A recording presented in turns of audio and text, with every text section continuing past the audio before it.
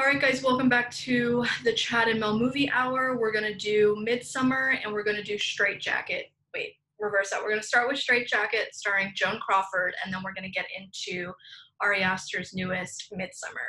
So, Chad, welcome. Thank you.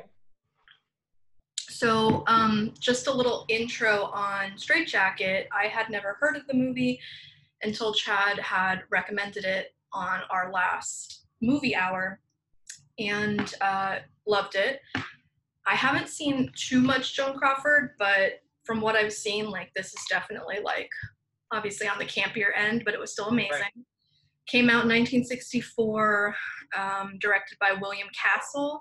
I yes. think, yeah, Castle. Okay. Um, yeah. Do you want to start? So he did like, just some backstory. He's like a John Waters favorite director, and he Tingler, wherein um, when they rolled the Tingler out into theaters, they put like um, they elect they put like some small voltage through some of the scenes. That's amazing. Like. And he he actually sent out devices to all these theaters for them to install, um, uh, so that you know you would get a little jolt. And I guess it was supposed to be like the tingler, like going through the theater, something like that but he he did um he had gimmicks like these for all his films but i guess that's why john waters like loved him. But that's awesome. It's very uh honey i shrunk the audience but well ahead of its time or like any any like 4d experience at a theme park like to have the seats like yes. interact with you. But you didn't know what seat they didn't have enough money to do all the seats. Oh. so you have to like go and just maybe you'll be buzzed or maybe not. If you're lucky. if you're lucky, you'll get the vibrating chair. That's yeah. crazy. So have have you seen his other movies? Any of his? I've got a couple box sets of his, and The Tingler is in there. And it's a silly movie, but if you put it in the context of everything I just said and how how influential it was for like John Waters and other filmmakers, and it's it's pretty cool. It's pretty interesting. Um, but yeah, Strait-Jacket like like kind of blew my mind as a gay man. when did you first see it? How long ago? Oh, so Strait-Jacket, I I only saw it like this year for the first time. But I'm a huge fan of. Okay, so backstory on that is I'm a huge fan of the camp movies like with Joan Crawford. So whatever happened to Baby Jane, one of my all-time favorite movies. So when I saw um, when I sort of discovered Strait-Jacket, I was like, where has this been all my life? Because it's similar to like a whatever happened to Baby Jane, right? Yeah, for sure. And I mean, I've seen like campy movies like that from that era, but I'm not with an A-list movie star like Joan Crawford. Like I've seen other kind of like B-ish campy like stuff, um, like Scream Queen even type stuff, but nothing with somebody of that caliber. And I was reading like some of the reviews that came out during the time, and I guess it was like like critics just they loved it and they they uh, they didn't love the movie they loved her. They thought like she was above the work um, but it was still like fairly well received but like one woman i was reading this one critic and she like really came for joan. She what did she say?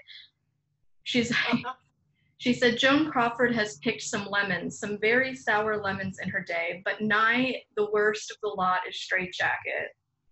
It's likely to stand as the worst picture of the year. Apart from the absurdity of the plot and the chilling predictability of lines and situations, is the movie is inexcusable for its scenes of violence. So she obviously had a stick up her ass, this Bosley. Right.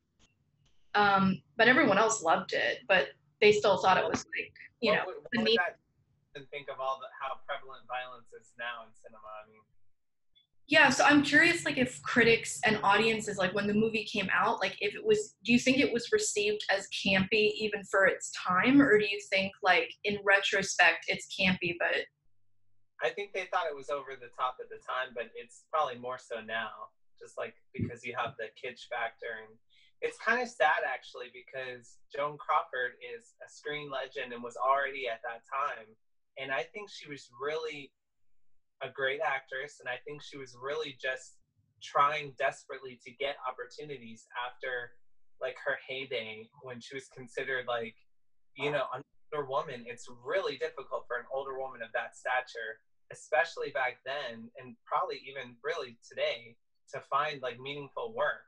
So I think like, you know, how almost how dare anyone come down on her for just trying to get by and just find something interesting to do. And you can't say that's not an interesting film, you know? Yeah, for sure. And I in in my women's group we talked uh, fairly recently, especially with like the E. Jean Carroll allegations that came out against Trump and then like disappeared overnight. Like, I mean, it's bad enough we don't like have a long news cycle, but that stuff was like a whisper in the wind.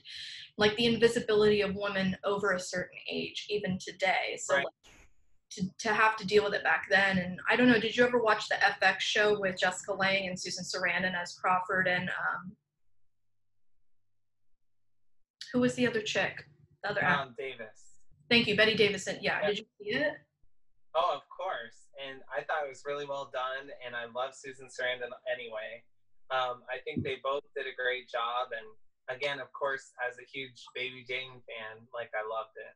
But Yeah, I think from the opening credits of the movie, um, which have like this, these like still art frames, these black and white kind of portraits, like horror portraits, and I was like taken aback by them. And I tried to find who the artist was, and he's not in the credits. And I Googled it, and do you know what I'm talking about? Let me hold. Well, you're not going to be able to see this from where you're sitting, but I'll send you the link. But the opening credit, black and white stuff. yeah, I know what you're talking about. Okay. So like that like just got me immediately because it was it like the quality of the mood that was being set didn't feel campy from the credits. It felt like, oh shit, like something's gonna go down. And the scoring to the movie was incredible. It's interesting because like William Castle has this camp thing, but I don't think he he wasn't like consciously campy. So at the time, he was trying to be or like earnestly make a serious film that, in hindsight, it just happens to be really campy. As, Right. as a like a John Waters who kind of knows what he's doing, you know. Yeah, for sure. It makes me definitely need to put on the to-do list to see the other stuff. I'll start with the Tingler and uh, I'll set my vibrator under the chair. Um, but though, right? Whatever happened to yeah, yeah, of course. Yeah. Okay, It's been a couple years, but yeah, yeah. okay, cool. Um, the should we talk a little bit about like the, the plot or anything or like Well, I'll just I just am dying to say like one of my favorite parts of the film is um well I just like I just love her character in that film. I mean, and she's such a powerhouse of an actress and she can go so many places as an actress. She's so like totally in control and it's like amazing to see. But of course it's over the top, but like it's still so well done. yeah And like I love when she's like flirting with her her daughter's boyfriend. That whole scene is so crazy. And then like later toward the end, probably my favorite visual from the film is when they're at I guess her um daughter's boyfriend's parents' house. mhm. She like gets lost in this maze of a room and like the pattern on the wall is like really intense and it becomes like a box that she can't even get out of and it's like she like she's going crazy and then of course spoiler you know you have like this reveal at the end of the movie which is like a whole nother twist or whatever. Um but just the visual of that and like and she's in a brassiere and like i guess a slip or something right? Mhm. and i love i just love how that looked. Like she's like holding onto the walls like grasping for reality. Yeah that was an excellent scene. And like even the dissolve there's kind of like a dissolve that happens when they're they pull up to the fiance or the boyfriend's parents house and like it just kind of looks like it's turning like muddy and then she's in the room or in that box. I mean it's also a little bit of art imitating reality you know as far as her career is concerned. Um, but yeah like the vulnerability of it like she's a woman half dressed at her vanity and she's like locked in this cage. And earlier in the movie when she first gets out of the hospital and her daughter's showing her around the farm she says something to the effect of like like she's trying to show her the chickens or something or the pigs and she's like i don't like to see things caged and Yeah. yeah oh, great point That's a great point. And you know what else is interesting is that she starts off like an, an older woman, like almost matronly, like almost grandmotherly. But then her daughter asks her to, like, she takes her shopping and she asks her to, like, revert back to this younger version that she remembered uh, uh, when of how she looked as a mother when she was younger before she was um, you know um, institutionalized or right. whatever and it's interesting because it's almost like an older woman's caricature of a younger woman but it also mirrors like it's almost like if you look at it joan crawford being this older woman who's an actress caricaturing like her younger self as an actress when she was more accepted by hollywood and when she was in her prime and more desired it's like there's like so many levels to it actually yeah i think that's an excellent point it's super effing meta it really is um yeah you know, within like, within the plot of the movie, and then you layer in like the art imitating her career as far as reality is concerned. It's it's very meta, very ahead of its time as far as that's concerned. Um, I want to talk about the twist. So I mean, th- this is not a spoil. This is a spoiler yeah. zone. Like people are gonna know. Got a safe space. Right. Um, but yeah, right. so uh, just for those who haven't seen the movie or who have, she plays Lucy Harbin, who, uh, and we'll, I want to talk to you a little bit about this and what you think, but basically she comes home unexpectedly to find her younger husband in bed with another woman. There is a axe murder with uh, of, of both of those parties and her daughter who is probably like between 8 and 10 years old i don't know is watching this whole thing go down and then it just flashes forward 20 years later to when she's being released after having been institutionalized for 20 years for these murders and just being kind of like dumped back into reality. And it's the fallout of what happens and um, kind of the the attempt for her daughter and her to reconcile their relationship. Uh, but yes in as chad like was saying they the daughter takes her shopping and takes her to a wig shop and puts her in a younger woman's hairstyle, puts her in the clothes and dresses her. Essentially, she remembers her. Yeah, interesting too that it's a wig because that just it further emphasizes the artifice. Like none of it's real. Like, mm. like it's not like she dyed her hair and had it like curled. Like it's a wig. Yeah. yeah, and there's even a moment where like they're walking out of the car to the beauty shop or something, and uh, Joan Crawford's character Lucy says to her daughter, like, "Oh, I thought you had to make an appointment to get, you know, at a beauty parlor." And her daughter's like, "Oh, you're not getting a permanent. You know, you're gonna get a, a wig." It's like all, you know, everybody's doing it. So yes, yeah. definitely. Like, I wonder. You think that that was intentional on his part, on Castle's part? I'm not sure, but it sure is interesting now. Like, look, I mean, some of these things might have been happy accidents, but yeah. um it could certainly. I think it definitely could have been. I mean, so, it's like you said. I didn't even realize that they they they have a beat in the film where she's like, "I thought we were going to a beauty parlor." Oh no, it's it's going to be a wing. Yeah, that's thing. It is just really interesting. And I mean, uh, spoiler alert, we're going to talk about the twist, but the leading up to the twist, there's a series of other axe murderers, excuse me, axe murders that take place throughout the course of the film in the present, uh, and you're led to believe that every time Joan Crawford's character Lucy uh, gets dolled up, puts the new dress on, puts the wig on, she slips back into her axe murderous um, you know mode. And when she's she even says to her daughter like I, I can't dress like that. Like she warns her daughter like i can't be that person anymore. And you take it literally because it the movie is leading you to believe that every time she puts on that stuff it's making it's activating something dormant in her and making her revert back to axe murderous mode. And then boom there's the twist at the end. Do you want to talk about the twist? Because i have yeah. questions about it Okay, so the twist is um, that it's actually been okay. So they set the daughter up as this very plain character. The the daughter is this plain Jane type of actress, like a typical '50s, '60s, whatever actress. Um, very like unassuming, kind of bland, you know, in her place, just middle of the road. And then it turns out she's been committing the murders the whole time So, um, and she's been doing it dressed up in the same artifice, like the same exact outfit, the same bangle, um, bracelets, the same wig as the mother. And apparently, she did this elaborate, like, uh, head sculpture of the mother. So she used that to create like this mask that she wears. So she, when you first see her as the killer, the daughter, she looks just like Joan Crawford.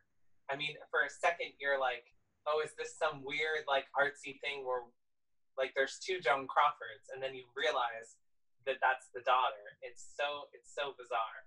But um, what's really cool is is how they do it because the whole movie starts with Joan killing someone basically, so we know she can do it. So it really like sets us up to think she is doing it this whole time.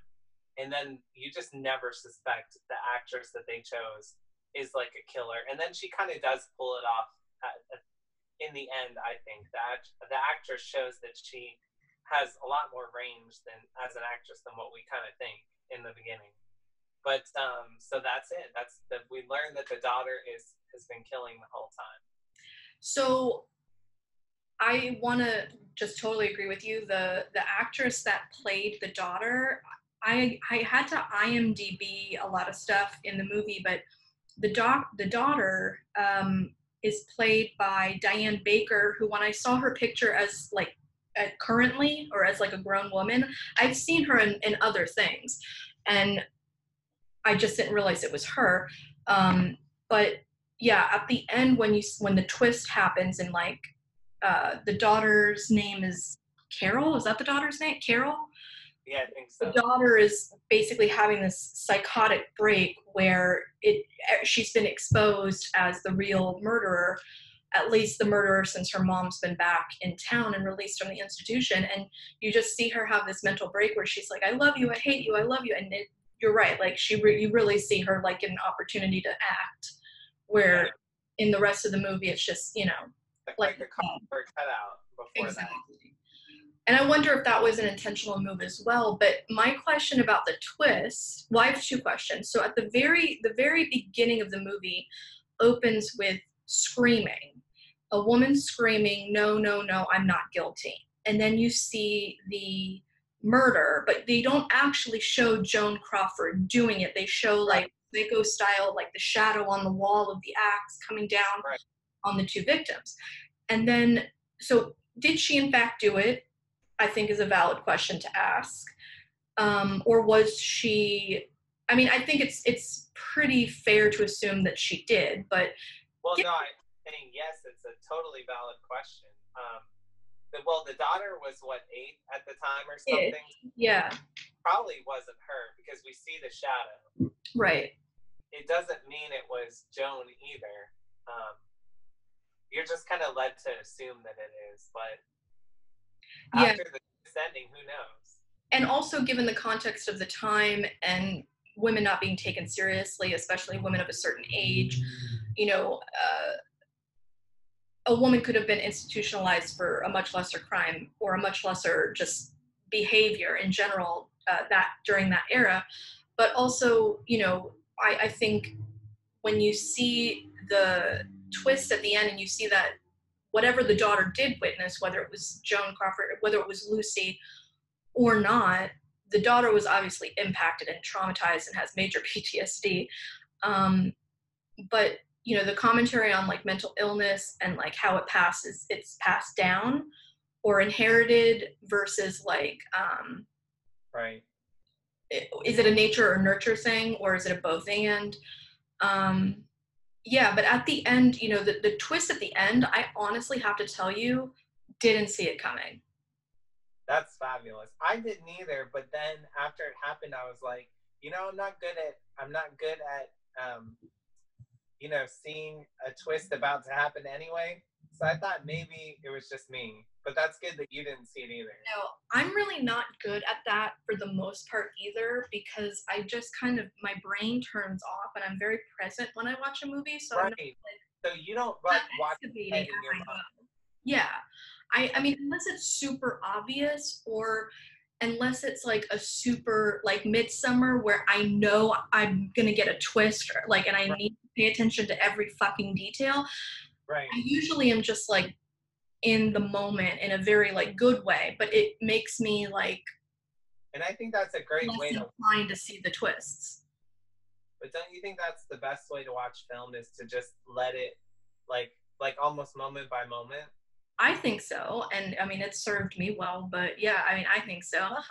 The only other thing I wanted to mention is it was interesting, and I'm sure this was indicative of the times, but there was there was two points in the movie, both fairly early on.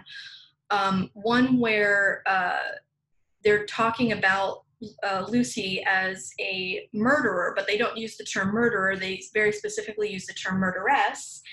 And there's a point also when Lucy gets out and her daughter's showing her around the, the farm and the house and showing her her sculptures. And uh, she says, Oh, you're a sculptor to her daughter. And her daughter says, No, I'm a sculptress. So Oh. I'm wondering because like it seems to me in 2019 we're doing the opposite, right? Like I don't need to be called an actress or a comedian. Like I am an actor. Like I don't need to be separated from the male or, or the normal term. Whereas we had to maybe go through the process of separating to get back where we are, if that makes sense. So I like why did the daughter insist on like reverting? I'm a I'm a sculptress. Yeah so but i i love those terms though like and i love the term murderess it's so sexy and it's like so like villainy and campy and like right.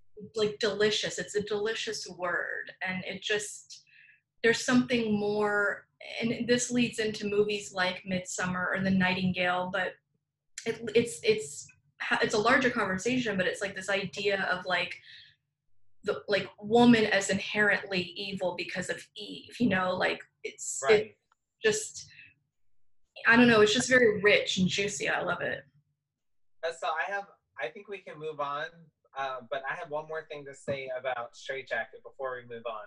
get it So the parallels that you can draw so many parallels between, and I don't know if you encountered this in any of your research, um, but between Psycho and Strait-Jacket. So Strait-Jacket is like a rearranged Psycho in a lot of ways. So in Psycho, he is playing like he.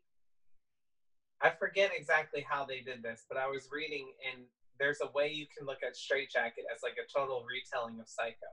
And I think it was because he was dressing up as his mom, but she is the mom and she's dressing up as her younger self. So they just kind of flipped a few things around. i have to i had to grab et for this okay i have to rewatch the movie now But now, but what I should really do is re read what I read because it was so it was laid out really well and now I can't remember it. But I love, of course, I love Psycho, so that is such a all time classic, and um, I just love all those things of like all those like shocking films from back then that like oh he was a transvestite.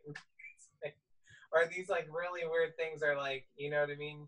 Oh no it was the daughter the whole time you know? And it's just like I don't know.